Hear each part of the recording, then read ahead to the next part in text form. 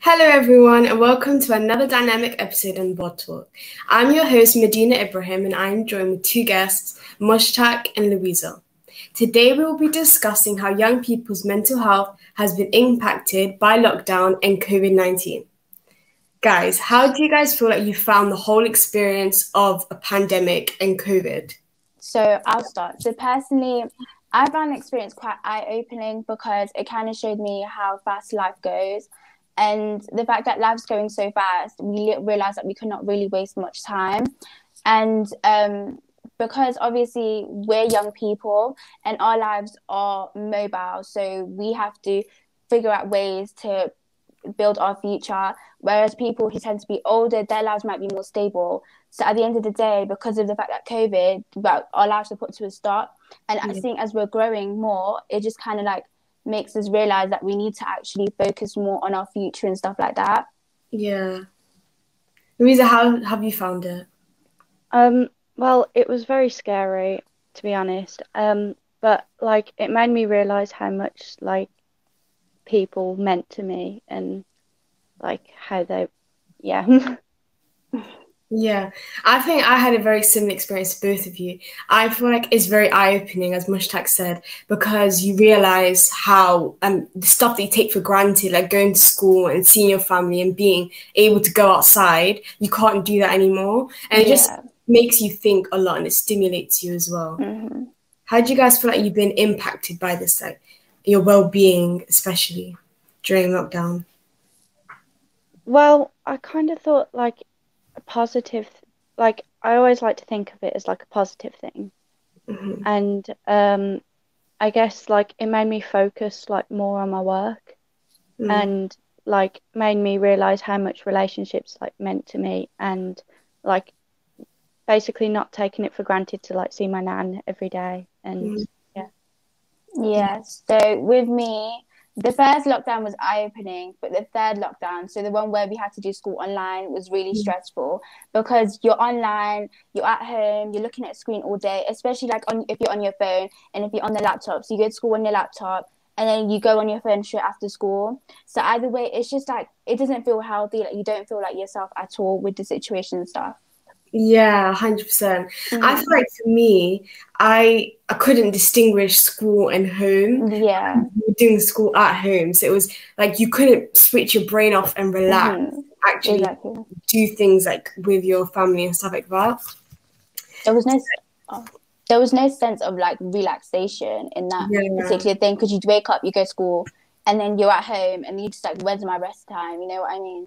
Yeah. Um, I feel like it affected me negatively as well because you you think that because you're at home you, you're more um, you're less stressed. But i feel like because of the situation everyone was 100% more stressed because on the news you're always seeing the death toll rising mm-hmm. and people not doing as well and the stuff like that. So how do you guys feel like seeing that the media constantly talking about it affected you? Um well it definitely was like very scary. There was like a point where I had to like switch off notifications on my phone because like it kept coming through and like I just get like really worried about it and like I wouldn't be able to focus and like I, I was always like worried about my nan and like because my mom's a key worker as well like yeah. I was I was worried about her going to work and everything yeah. yeah. I think for me it was um it was very scary because you'd realize how short life is, especially if it's a global pandemic and people all over the world are dying, and you just like don't know which one. Like it sounds so negative, but you don't know which one of your family is next. Like it's never mm-hmm. unsure like who's gonna actually get COVID. And when you go shopping and when you go out, it's still scary regardless as well. Yeah, hundred percent. Is there anything you would tell your past selves, like two years ago, like twenty nineteen you? What would you tell yourself, like to help you with this whole situation, like to make sure you didn't get negatively impacted? Um, definitely would be to like make sure you kept in contact with everyone and like try not to isolate yourself. Yeah, because yeah. I've because like I felt like I was kind of very isolated without like phoning people and I just mainly tried to concentrate on my work. Yeah. But like, Mhm. I think if I would have kept um, contact with everyone, then maybe like, I don't know, it would have like lifted my spirits more. Mm. Mm. Well, for me, for my past self, I'd say try work hard towards your future because obviously I'm in college now, and in a year, in, le- in less than two years later, I'll be in university. And because of COVID, I didn't necessarily have time to actually research and look at stuff to see where my future would take me.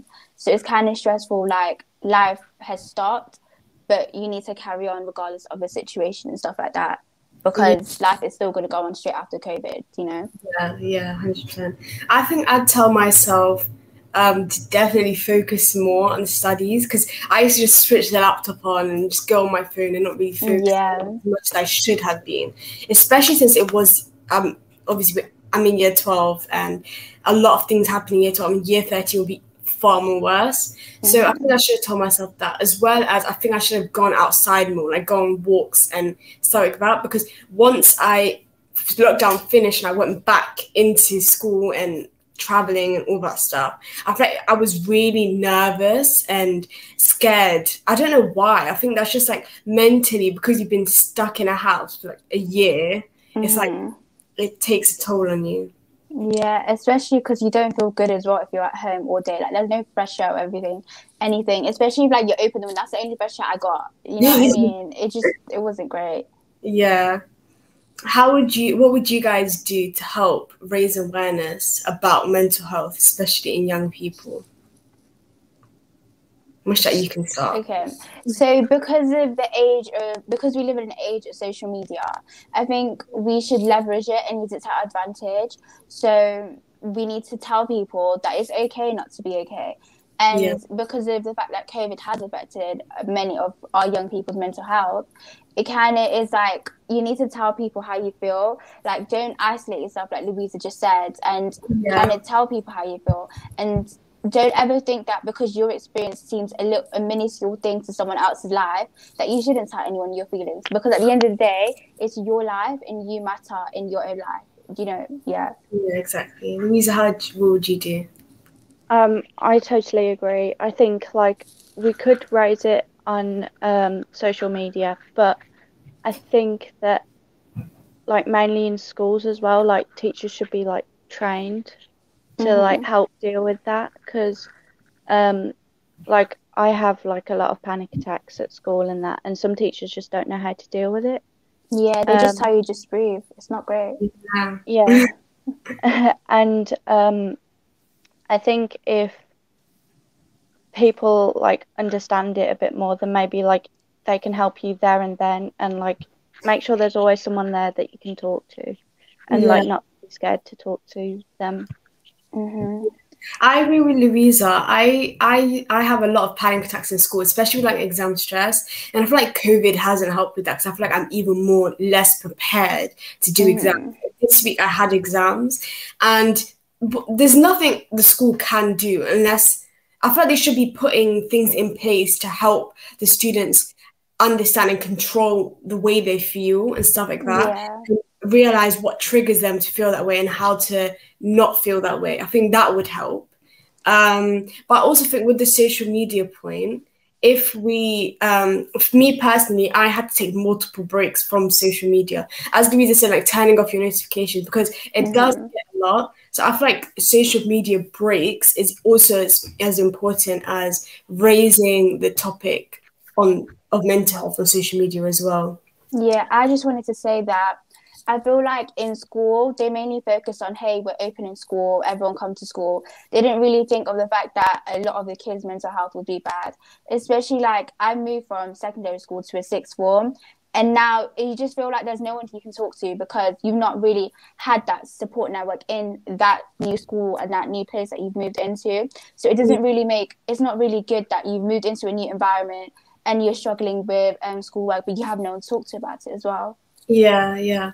But I have noticed that there are some schools that have, like, I know my sixth form, the first week of school, you had to go into form because normally you don't have to go unless you have a lesson, but you had to, and they were doing stuff to make open discussions about mental health. So I feel like that was made nationwide, and students felt like they could talk to their Mhm. school about it. It would make Yeah. them feel better.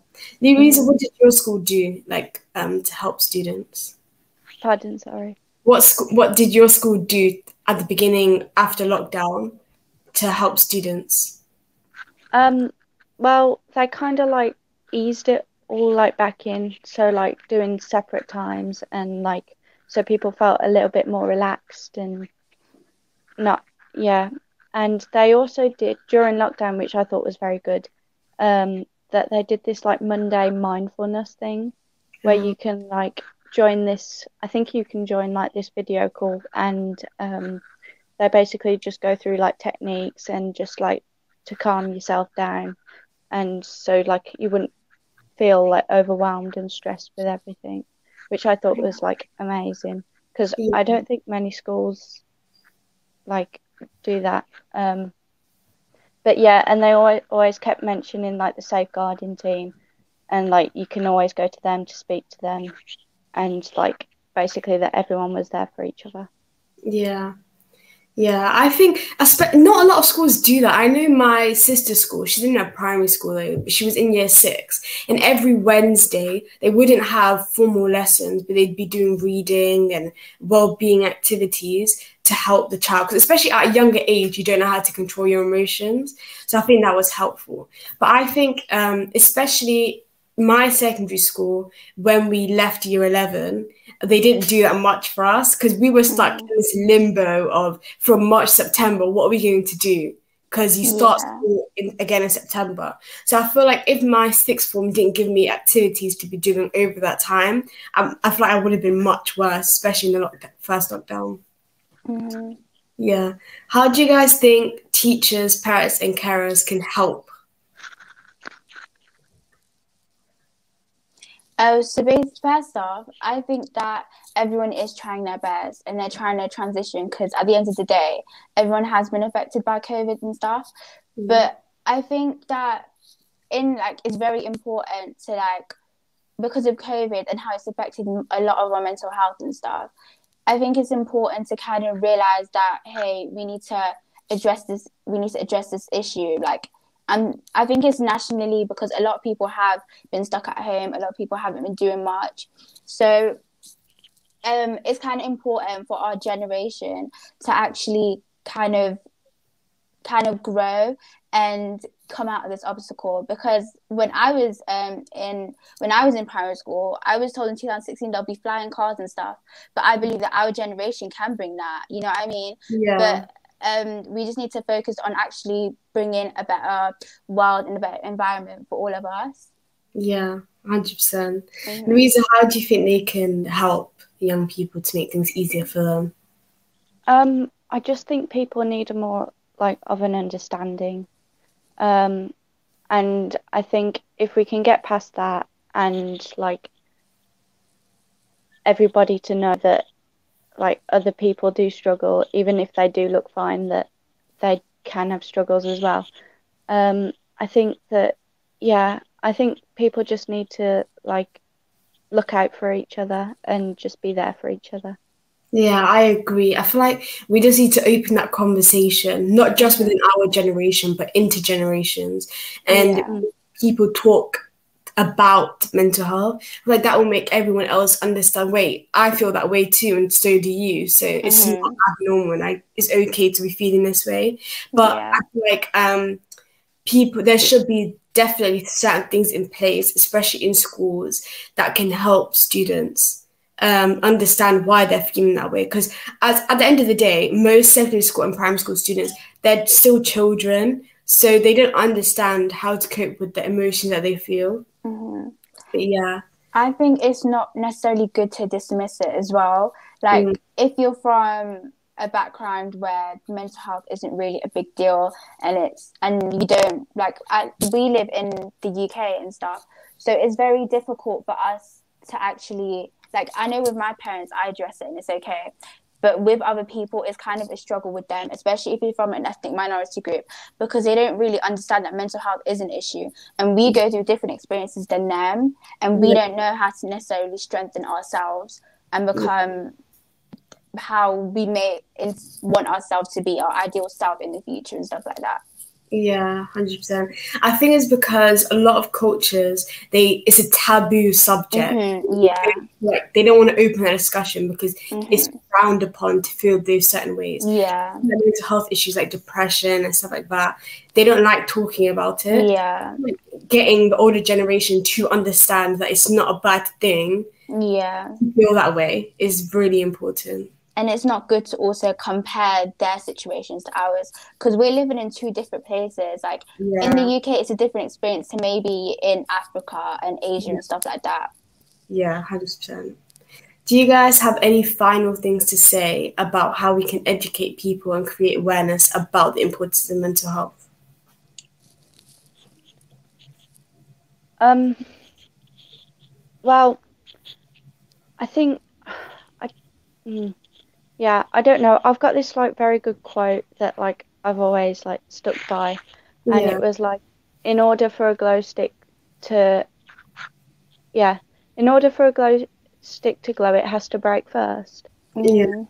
I've and I've kind of I kind of always like stuck by that. So like whenever you're having a bad day, just think that it's just a bad day, not a bad life. And Mhm. like you can still carry on and like it may be hard, but it will be worth it because you are you do deserve happiness Yeah. and that and that it's okay not to be okay, but just try not to stay there for that long and Yeah. just and just speak to people because yeah everybody wants to help and support you so just try not to bottle it all up yeah, I agree. Mushtaq, what do you have to say? I'd say like I agree with Luisa. Like never ever self isolate yourself. To, but if you need to work on yourself and stuff like that, always have a support network. Don't ever think that people aren't going to be there for you because, um, because you feel like. Because you feel like no one is going to be there for you. Like, you need to know that people will always be there for you, and your family, your friends, and stuff. Like, they'll always support you and stuff like that. And don't ever um, not speak about your feelings and bottle it up because it can lead to more health, like more mental health issues. Like always speak about your emotions. Always put it as an output to speak about it, and never avoid your stress or whatever because it's not it's not a way to cope and stuff like that. Yeah. Mhm. I agree. I think having bad days is important so you know what a good day feels like. Mhm. So in order to have good days, you need to have bad days as well. Yeah. So the, the you know the balance of the days and stuff like that. So everyone goes through bad days, but it's just how you deal with them and how you go forward and Mhm. try to find a good day is what's really important. Yeah. Like I said, thank you guys for joining Mhm. today. Um, we hope that everyone watching enjoyed and has learned something from the discussion today. The topic of mental health among young people is really important, and we hope that we've shed some light on it as well as have started important conversations. Please continue us to follow on Youth Fluent on VOD Talk to raise more awareness. Like, subscribe, share, comment on YouTube, follow VOD Talk on Instagram, Facebook, and Twitter, and make sure to tell us what matters to you so we know what you would like to hear about next. Until next dynamic episodes of Youth Fluent. Bye.